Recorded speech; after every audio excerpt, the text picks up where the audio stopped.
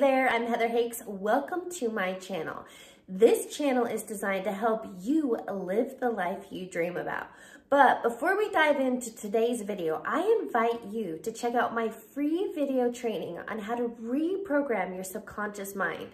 Again, visit my website, heatherhakes.com and opt into my free video training. You can also click on the link below in the description box.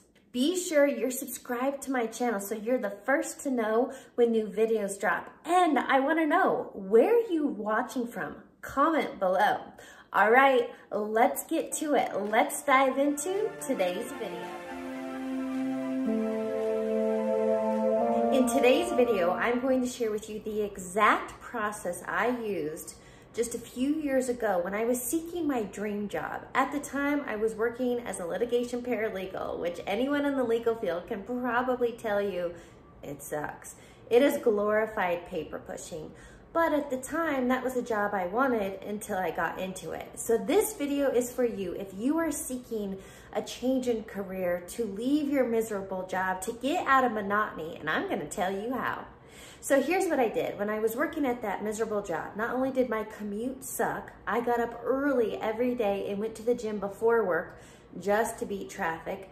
Then I would work all day long and then I would go to the gym again just to not sit in traffic on my way home. So they were really, really long days. And I didn't enjoy what I was doing. So if you're in that space right now that you don't even enjoy what you're doing, we spend a massive amount of time at work. So the least you can do is enjoy it. And I, I didn't feel I was getting paid what I was worth. So this led me to start job searching. Here's what I want you to do. Before you update your resume, before you start applying to countless jobs or reaching out to recruiters, it's really important that you get clear on what you want. And at the time, I, I live in Denver, Colorado. I was working in the tech center, but I lived out west near uh, Lakewood and Golden. So the commute was terrible. And I'm sure you may live in a large city and also experience poor traffic. So the big thing, one of my big clear objectives was I wanted to work downtown again. It was a simple, easy 15 minute commute. Plus I loved the energy of downtown. So I got clear on location. So for you, step number one, do you want to go into an office? Do you want to move to a new city? Do you want it to be remote? Get clear on those details. The second step, I decided I wanted to make a minimum dollar amount. So I got clear and I wasn't even going to look at jobs in less than that. I also got really clear that company culture was really important to me. I wanted to work somewhere that I felt a part of a team and not just a cog in a wheel. So again, I got clear on these different details and then I started looking at the jobs. What happened for me was while looking and applying the jobs and working with recruiters, I ended up narrowing it down because at the time I was like, any job, downtown, making this money, good company culture. It was pretty vague. But after a few applications and some interviews, I was like, okay, I wanna work in oil and gas. So that really narrowed down my focus and I said no to anything that wasn't aligned. So again, you've got to get clear what are your must-haves and what are your would likes? Here's something else I want you to understand. If you don't know your own worth, then you can't attract bigger, better, and enjoyable work for you. If you haven't yet, I invite you to check out my free video training on my website, heatherhakes.com. This is about reprogramming your subconscious mind because if you don't feel worthy and you have self-doubt or imposter syndrome or confidence issues in your current role, but you're seeking something different, you've got to become different. You've got to step into that role of somebody who shows up in this dream job you want.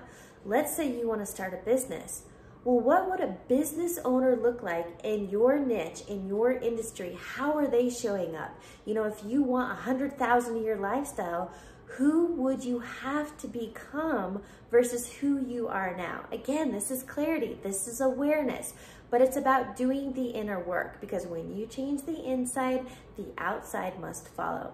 I've also done this in my own business. I had to get clear on who was I being. And this was back when I was starting in my own coaching business, but I had a lot of self-doubt and imposter syndrome and procrastination, and I wasn't consistent in creating content. can you see how that individual isn't going to create or attract the aligned people that you want to work with? So I figured out, oh, okay, this this version of me wasn't doing it. I got clear on who would that person be. I, I implemented a morning routine. I was mindful and intentional. I created confidence, self-worth, consistent in posting. And then all of a sudden I was gaining traction and gaining momentum.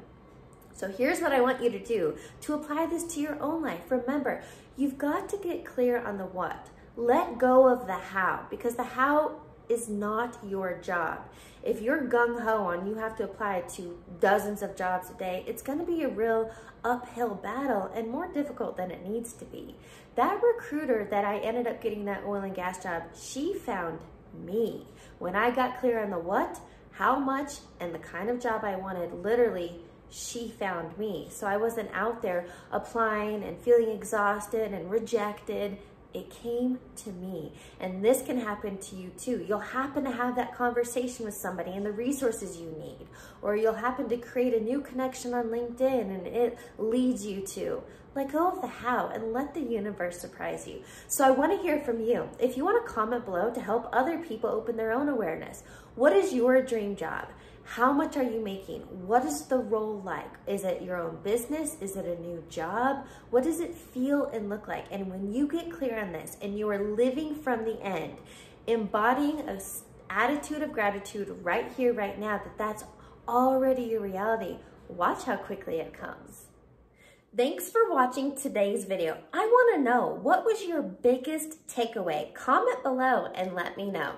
If you liked this video and it resonated, give me a thumbs up and make sure you're subscribed to my channel so you're the first to know when new videos drop.